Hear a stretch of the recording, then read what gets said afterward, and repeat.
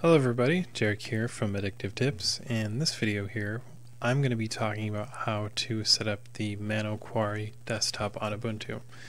So in this in this video in particular there's a lot of stuff going on. We have to do a lot of different things. So you're going to need your terminal open and you're going to need to have my article open alongside you because there's a lot of commands going on here. So let's start off we need to make a backup of the sources list. So let me copy this command here.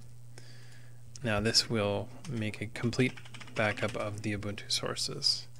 After that we can go and uh, gain a root shell on Ubuntu and then we can use these echo commands.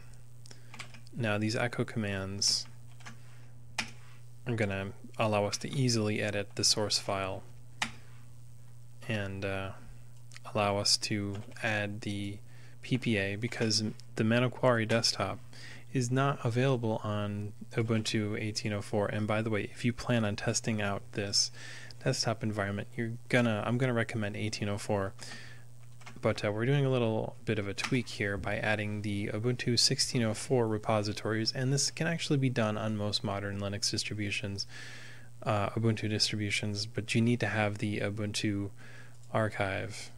So let's recover the apt key.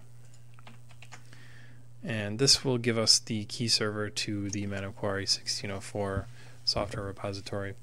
And then we can, as I was saying, we can add the rest of the stuff and add the Ubuntu package archive.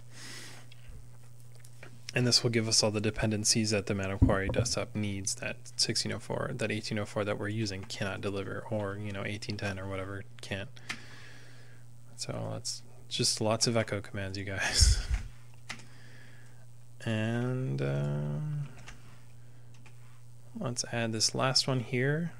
And this one will for sure give us 1604's package archives. As you can see, it's a multiverse restricted and universe. After that, we need to run the apt update command. Now, if you look here, you'll see Bionic, but you'll also see Xenial, 1604 Xenial and that means that all these repositories are working and then we can just install the Manokwari desktop and uh, updates take a bit but uh, you know the cool thing about Ubuntu is that you can mix up sources um, to meet package repository requirements so I added the 1604 software repository and this is allowing me to try this desktop environment and use it. So just gotta wait for the updates to finish and uh, then I can install everything that I need. It's taking an inordinate amount of time though, for some reason.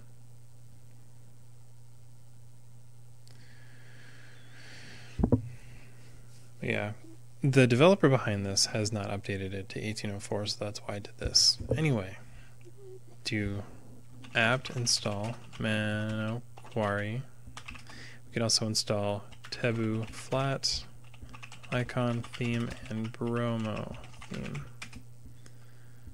And this is all coming from our 1604 repos and the uh, you know the the PPA that we added. Just if you look here, you can see the PPAs right there.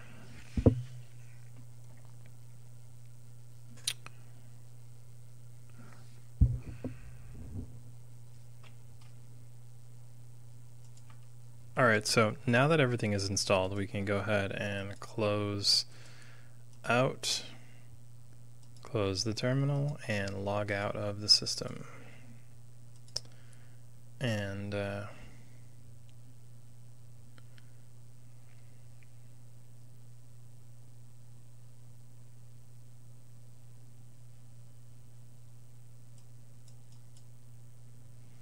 now we're back at the login screen.